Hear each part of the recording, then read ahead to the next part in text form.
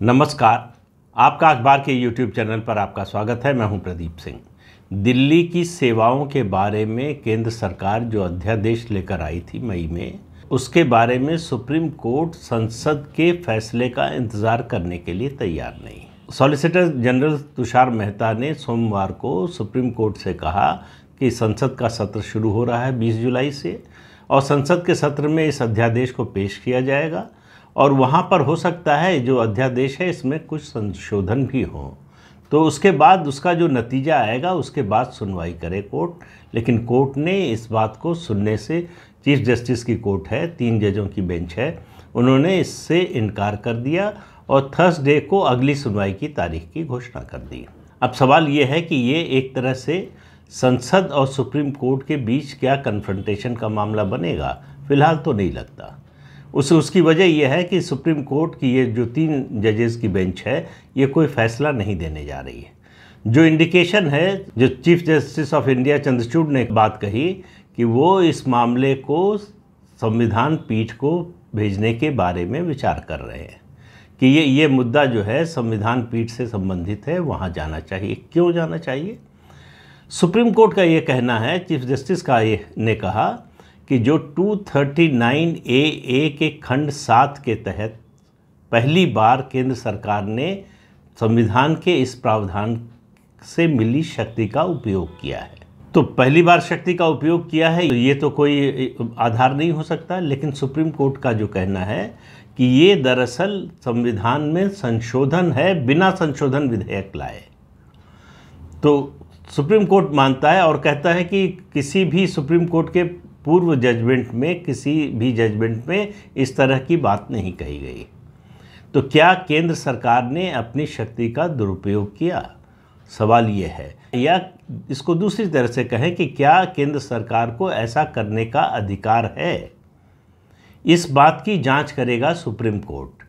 अभी वो इस मामले पर है ही नहीं कि ये ये सही है या गलत है। पहले उसकी संवैधानिक व्यवस्था जो है, उसके बारे में विचार करने वाला है। सरकार का ये कहना है कि ये अध्यादेश हमको जल्दबाजी में, मजबूरी में लाना पड़ा। नहीं लाते तो दिल्ली में एडमिनिस्ट्रेटिव एनार्की हो जाती। क्योंकि जैसे ही सुप्रीम कोर्ट का फैसला आया था सर्विसेज़ के मामले में, उसके बाद दिल्ली के मंत्री जो है अराजक व्यवहार करने लगे। और और उन्होंने उन्होंने टारगेट बनाया कई ब्यूरोक्रेट्स को, कई डिपार्टमेंट्स को, और ख़ास तौर से विजिलेंस डिपार्टमेंट को। विजिलेंस डिपार्टमेंट की फाइलों पर कब्जा किया जाने लगा। रात में ग्यारह बजे अफसरों के ट्रांसफ़र की सूचना सोशल मीडिया पर डाली जाने लगी और विजिलेंस डिपार्टमेंट की फाइलें, बड़ी सेंसिटिव फाइलें थी वहाँ पर, जिसमें शराब घोटाले की जाँच के मामले से जुड़ी फाइलें हैं, जिसमें अरविंद केजरीवाल का जो शीश महल बना है, उससे जुड़ी फाइलें हैं। उसके अलावा बिजली कंपनियों को जो सब्सिडी दी जा रही है, उससे जुड़ी फाइलें हैं। सुप्रीम कोर्ट ने जो हिसाब मांगा है आम आदमी पार्टी से विज्ञापनों का, कि विज्ञापन पर पिछले तीन साल में कितना खर्च किया है, उससे जुड़ी फाइलें हैं। इसके अलावा जो केजरीवाल सरकार ने एक फीडबैक यूनिट बनाई थी, दरअसल ये राजनीतिक जासूसी करने की यूनिट थी, अपने विरोधियों पर नज़र रखने, उनकी बातें सुनने के लिए। उससे जुड़ी फाइलें। इसलिए बेचैनी ज़्यादा थी आम आदमी पार्टी में। तो जैसे ही सुप्रीम कोर्ट का जजमेंट आया, और इससे पहले एलजी कह चुके थे कि सुप्रीम कोर्ट का जजमेंट मेरे लिए सैक्रोसेंट है और वो माना जाएगा पूरी तरह से। इस सब के बावजूद, जो हड़बड़ी, जो जल्दबाजी दिखाई आम आदमी पार्टी के मंत्रियों ने, वो उससे देश में ही नहीं, दुनिया भर में दिल्ली की बदनामी होती। केंद्र सरकार का ये स्टैंड है। लेकिन सुप्रीम कोर्ट ने कहा कि हम देखेंगे कि क्या इस मामले को संविधान पीठ को रेफर किया जाना चाहिए। और ज़्यादा उम्मीद इस बात की है कि ये मामला संविधान पीठ को रेफर हो जाएगा। उससे पहले संसद का फैसला आ जाएगा।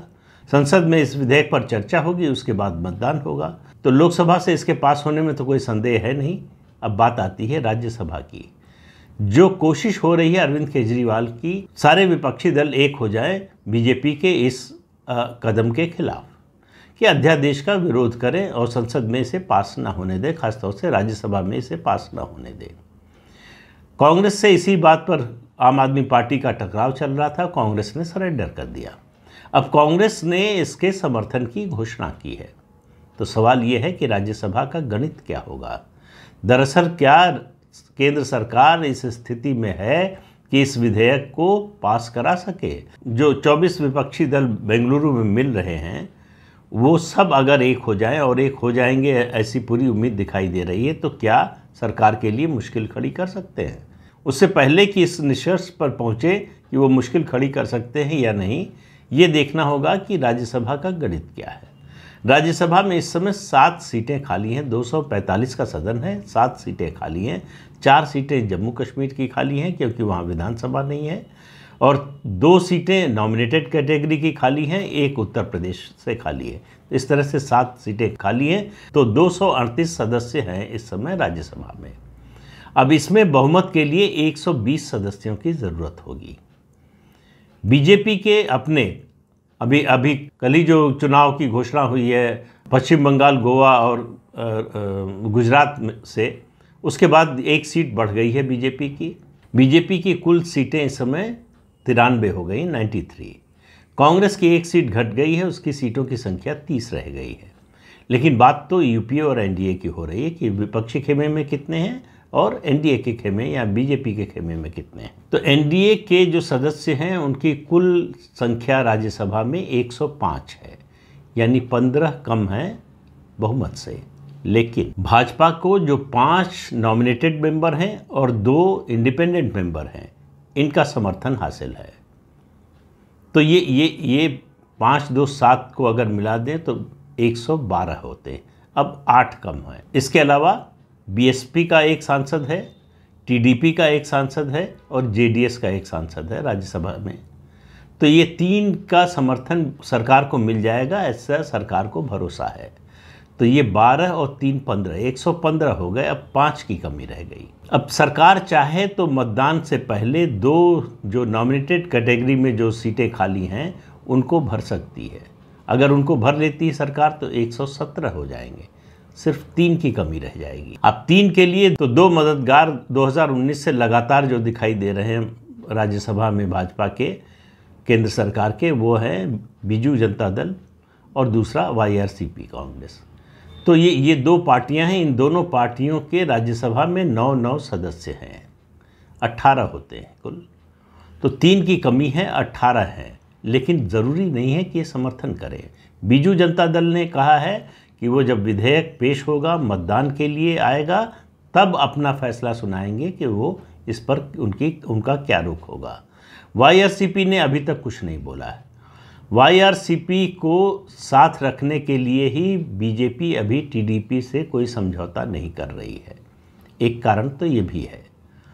लेकिन ये ये दोनों पार्टियाँ समय समय पर भारतीय जनता पार्टी को ज़रूरत पड़ने पर साथ वोट देकर और ज़रूरत न हो तो मतलब अगर बिना उनके वोट के पूरा हो जाए तो वॉकआउट करके या एब्सटेन करके मदद करती रही। मान लीजिए कि अगर ये दोनों पार्टियाँ एब्सटेन कर जाएँ तो बहुमत के लिए सिर्फ़ 111 सदस्यों की ज़रूरत होगी। तो इसलिए राज्यसभा में सरकार बिल्कुल निश्चिंत है कि उसको इस विधेयक को पास कराने में कोई दिक्कत नहीं होगी। लेकिन विपक्ष एक संदेश भेजना चाहता है इसके ज़रिए और वो अपनी एकता का संदेश भेजना चाहता है। सरकार संदेश भेजना चाहती है कि राज्यसभा में बहुमत न होने के बावजूद हमारी पार्टी का हम बहुमत से विधेयक पास कराने की स्थिति में हैं। यानी हम अपनी बात से लोगों को, दूसरी पार्टियों को कन्विंस करने, उनको मनाने में कामयाब होते हैं। इसलिए अभी तक पिछले नौ साल में राज्यसभा से कोई विधेयक सरकार का गिरा नहीं है। ये ये ये कोई सामान्य बात नहीं है। आज 93 सीट्स हैं बीजेपी की। और जब जब सत्ता में आए थे 2014 में, तब इससे बहुत कम थी। एनडीए की और ज़्यादा कम थी। तो ऐसे में ये सरकार का राजनीतिक कौशल है और फ्लोर मैनेजमेंट का अच्छा उदाहरण है कि संख्या बल साथ न होने के बावजूद वो संख्या बल जुटा लेती है जब भी उसको ज़रूरत पड़ती है। वो चाहे अनुच्छेद 370 का मामला रहा हो या फिर तीन तलाक का मामला रहा हो या दूसरे जितने भी मामले इस तरह के हैं और ख़ास तौर से अगर आप याद करें जीएसटी के मामले को जीएसटी पर लगभग सर्वानुमति जुटा ली थी सरकार ने। एक ऐसा कानून जिसमें राज्यों ने अपने वित्तीय अधिकार छोड़ दिए और इतनी फ्रैगमेंटेड पॉलिटी में इस तरह का विधेयक पास कराना, ये सरकार के राजनीतिक कौशल का प्रमाण है।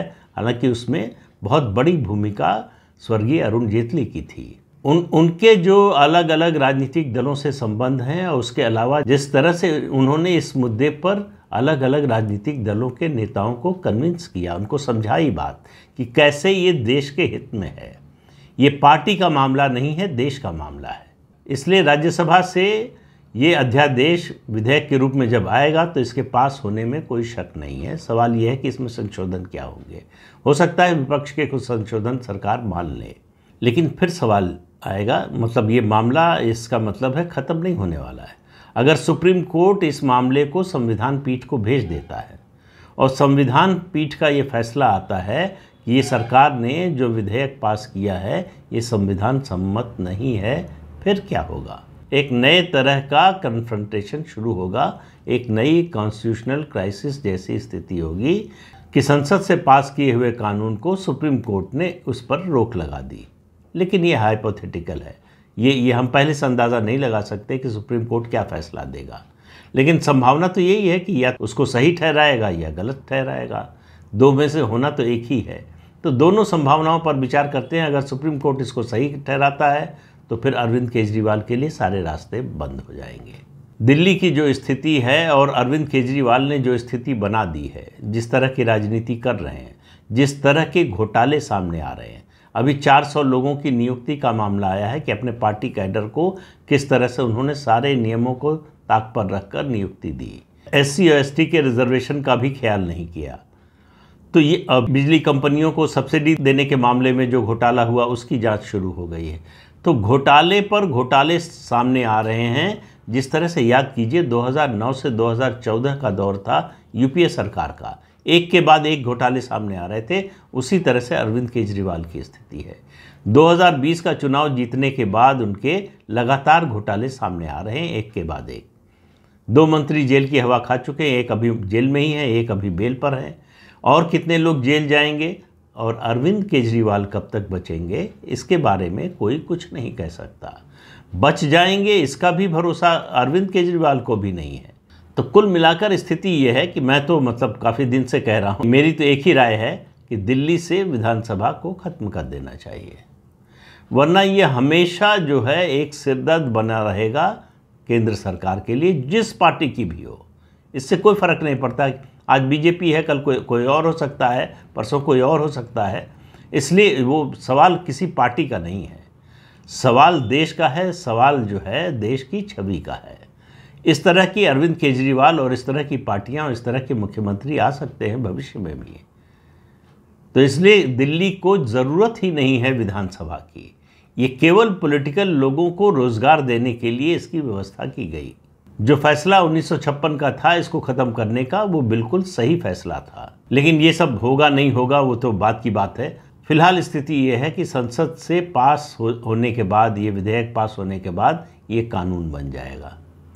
और संविधान पीठ को रेफ़र किया जाएगा, कब पीठ बनेगी, कब उसका फैसला आएगा, ये ये इसमें अभी लंबा समय है। हो सकता है कि लोकसभा चुनाव तक कोई फैसला ही ना आए, क्योंकि अनुच्छेद 370 का ही मामला देखिए, उस पर सुनवाई अब शुरू हुई है।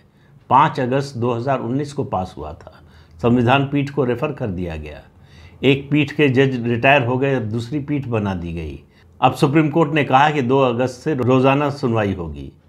तो इसलिए जो है, अदालत का फैसला कब आएगा पता नहीं, लेकिन ये अध्यादेश कानून बनने जा रहा है, ये साफ़ तौर पर फ़िलहाल दिखाई दे रहा है। तो इस अंक में इतना ही, अगले अंक में फिर मिलेंगे। किसी नए मुद्दे के साथ, तब तक के लिए अनुमति दीजिए। आपसे अनुरोध है कि ये चैनल देखिए शेयर कीजिए, लाइक कीजिए और सब्सक्राइब ज़रूर कीजिए। नमस्कार।